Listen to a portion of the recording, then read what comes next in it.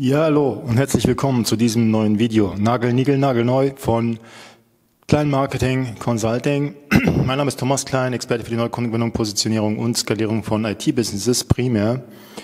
Und hochgradig spezialisiert werde ich dir hier jetzt mal ein paar Tipps geben zum Thema DMC. Ich hatte ja ein letztes Video gemacht zum Thema Direktvertrieb. Ja, da haben wir gesagt, okay, wie kommen wir letztendlich als Solopreneur, IT-Startup, ähm, angehender Unternehmer etc. etc.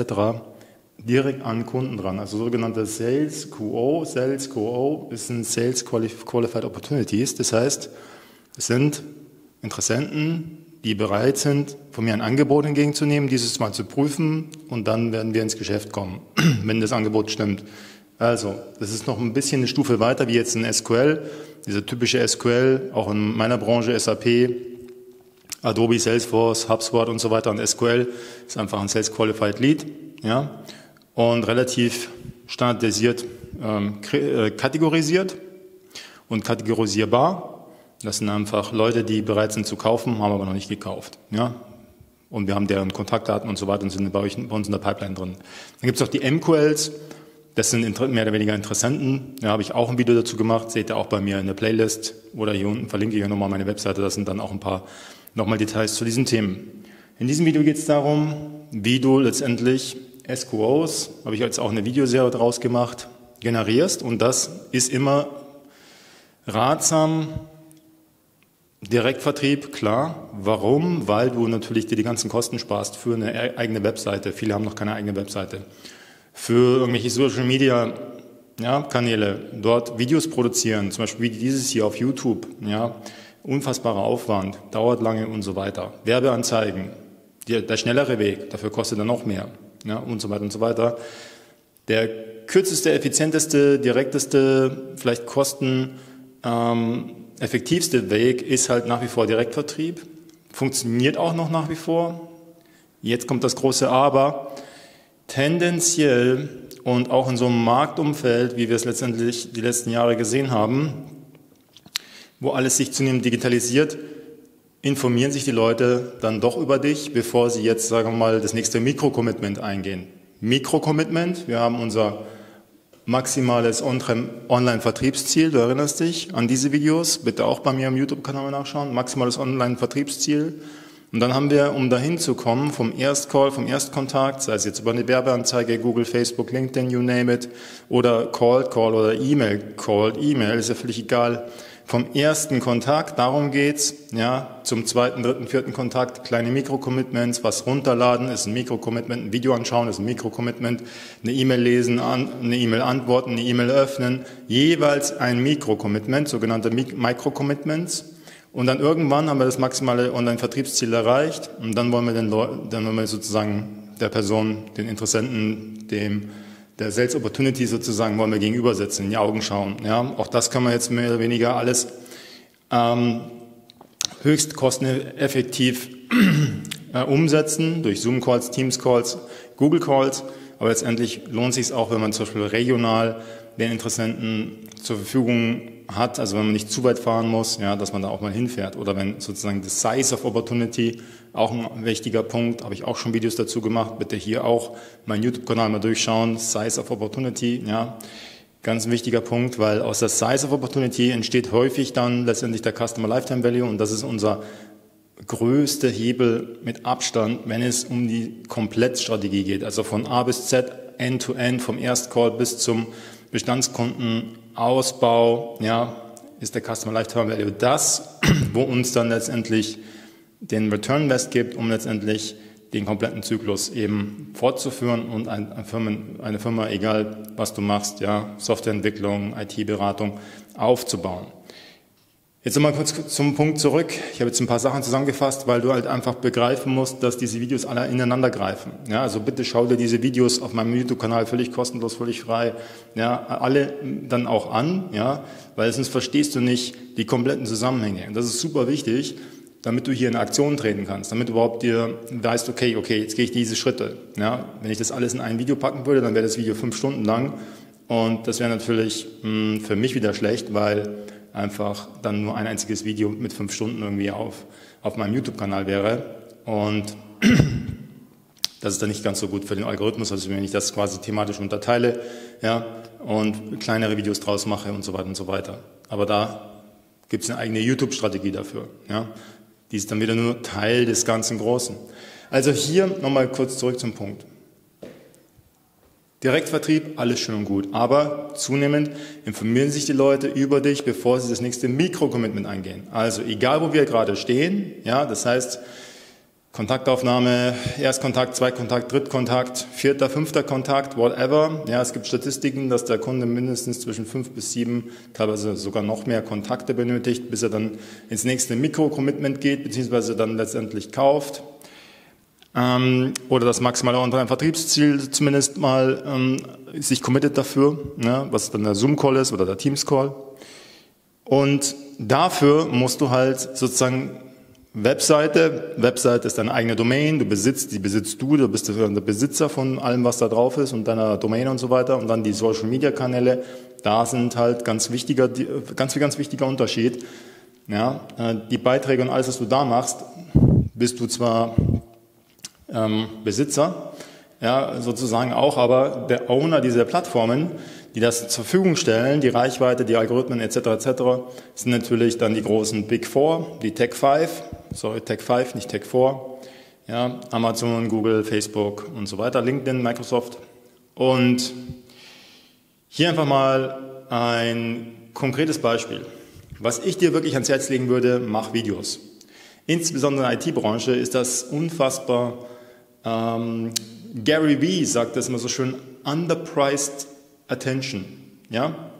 Ähm, always look at where at the moment is the underpriced attention. Ja? Und das ändert sich manchmal, aber auch bezüglich einer bestimmten Branche. Ja?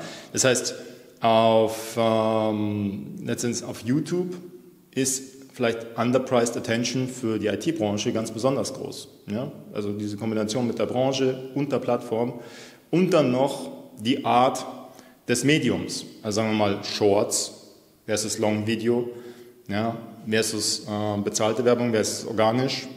Also da muss man dann auch mal schauen, okay, wo ist da, was funktioniert gerade am besten für welche Branche, in welchem Format. Ja, das sind so diese drei Eckpunkte. Und da würde ich einfach ans Herz legen, einfach loszulegen. Und hier ein, mal, ein wirklich mega, mega Tipp. Wenn du nur diesen einen Tipp mitnimmst, dann bist du schon wirklich gut dabei. Als IT-Experte, als, Berater, Freelancer, Softwareentwickler, IT-Agenturinhaber, Dienstleister, wenn du schon Mitarbeiter hast, noch keine Mitarbeiter, wenn du noch auf dem halben Weg bist, um Freelancer zu werden, dich selbstständig machst, whatever, egal, starte einen YouTube-Kanal. Hab keine Angst, mach einfach. Ja, bei mir war es auch am Anfang irgendwie so, na, hm, wie mache ich das und so weiter und so weiter. Letztendlich starte einen YouTube-Kanal und hau einfach Content raus. Ich weiß, dass viele, ähm, also sagen wir mal, besonders in Deutschland, Leute sind sehr gewissenhaft, ja, das, dazu gehöre ich auch, ja, bin auch absolut so erzogen worden, Pünktlichkeit, ja, Gewissenhaftigkeit, Ehrlichkeit und so weiter, ja, die ganzen großen Werte, die uns auch so sagen wir, auch äh, das gute deutsche Image auch im Ausland hier nach wie vor äh, ähm, verschaffen ja, und von dem wir sehr stark profitieren und warum halt viele Leute auch nach wie vor unsere Güter gerne kaufen. Also Exportweltmeister sind zwar, zwar jetzt aktuell nicht mehr, glaube ich, aber ja, wir können sie wieder werden. Und deswegen, was es, wenn es darum geht, auf Social Media Content zu verteilen, einfach loslegen. Also, hier gilt der, gilt der Grundsatz, done is better than perfect. Nochmal, done is better than perfect. Okay, nochmal, weil es so schön war, done is better than perfect. Okay, ganz, ganz wichtig, insbesondere wenn du diese Mentalität hast, diese typisch deutsche Mentalität der Gewissenhaftigkeit und der Perfektionismus, ja, und dann wenn du auch noch in Kombination damit auch noch Ingenieur bist oder Softwareentwickler, so wie ich es auch ursprünglich mal war, ja, und dann bin ich ins Marketing Sales gegangen, ähm, dann ist es für dich, dann fallst du da rum und dann brauchst du irgendwie eine Stunde für irgendwie irgendein Video oder eine Woche oder am Ende veröffentlichst, äh, veröffentlich, veröffentlichst du es nie, ja, weil es nicht gut genug ist oder sowas. Das ist komplett falsch. Du solltest einfach Videos machen, raushauen und dann siehst du, welches Video kommt gut an, welches nicht. Und das ist es das, das Wichtigste überhaupt, dass du erstmal einfach ins Exposé gehst. Ja, also dich einfach erstmal exponierst, also dich überhaupt mal zeigst, in die Sichtbarkeit kommst. Denn nur so kannst du überhaupt echtes Marktfeedback. Ja, bis zu dem Zeitpunkt findet alles nur in deinem Kopf statt.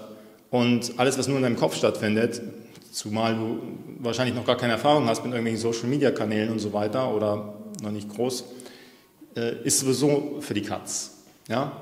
Das heißt, einfach, du musst raus in den echten, in die Realität, ja, in den echten Kontakt. Das heißt, mach Videos, sprech einfach über das, was du gerne sprichst, ja, über deinen Job, über deine Themen, äh, was, was dich bewegt, deine Erfahrungswerte, you name it. Ja, einfach irgendwelche Erfahrungen mit Projekten und so weiter. Anonymisiere einfach alles, dann passt das auch. Ja, und dann hau raus. Und dann teile es eben so auf, Long-Videos, ja, zwischen 10 und 15 Minuten, ja, vielleicht ab und zu mal ein Interview, schauen, dass du vielleicht mal eins kriegst, die können auch länger sein, 20, 30 Minuten, dann äh, zwei, drei Minuten Videos, die kannst du dann auch als Google Ads verwenden, also dann zerteilst du nochmal, ja, zweiteilige, dreiteilige Serien und Shorts, ja, die generierst du dann aus dem Material. Und mach ruhig mal vier, fünf Videos pro Woche, vielleicht sogar noch mehr. Du kannst ja bei YouTube ganz, ganz tolle Funktionen. Du kannst ja einmal Videos machen, schneiden, hochladen und dann einfach zeitversetzt veröffentlichen. Also machst es einmal einen Tag und dann hast du Videos für die nächsten zwei Wochen. Ein weiterer Punkt, wenn du dann letztendlich siehst, okay, dieses Video, dieses Thema kommt sehr gut an, hier hat jemand geliked, hier hat jemand vielleicht sogar abonniert, hier hat vielleicht sogar jemand kommentiert, vielleicht sogar jemand geteilt, ja, dann nimmst du dieses Thema und recycelst dieses Thema und nimmst dann genau diese Themen und machst mehr Content daraus, machst eine komplette Playlist daraus.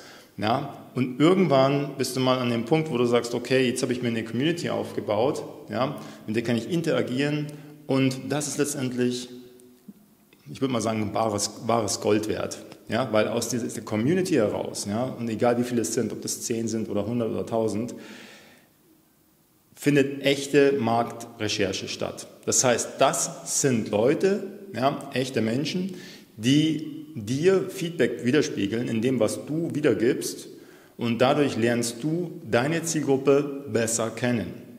Ja, okay, ähm, du magst vielleicht denken, ja gut, ich kenne doch meine Zielgruppe, ich habe ja schon Kunden, ja, schon seit Jahren, ähm, drei, vier, fünf, sechs, sieben, zehn Kunden im Jahr oder was weiß ich, oder 20 Kunden.